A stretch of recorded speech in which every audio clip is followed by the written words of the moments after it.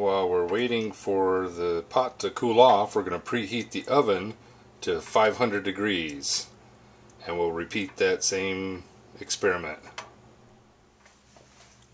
Alright, we're going to start the time for three hours. Um, going to be just a minute before we get completely started. Cooled off the pot.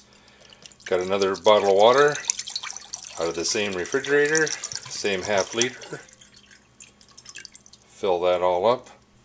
And we're preheated to 500 degrees now. So I'm going to open up the oven. And we're going to place the pot inside the oven. And we're going to let that go for a while. We'll be back in a little bit and check that progress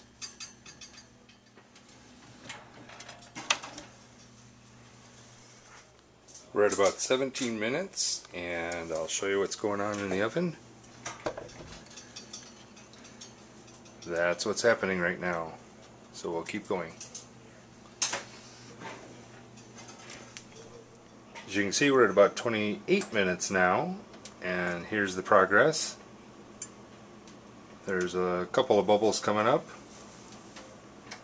and we'll continue on.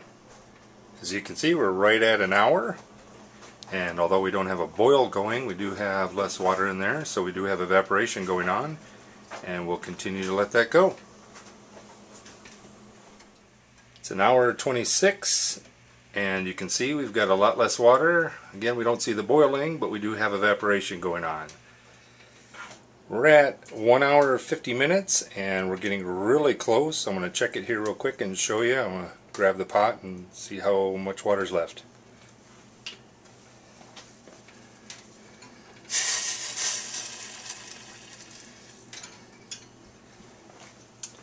Hopefully you can see there wasn't too much left in there. It shouldn't be too much longer and we'll be all done.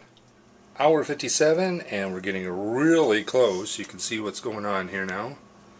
I'll zoom in just a little bit. You can see there's just a little bit of water on that right hand side. Okay, we're a minute, or excuse me, an hour, 59 minutes, and it's just about done. In fact, I'm going to help it out just a little bit. Here you go.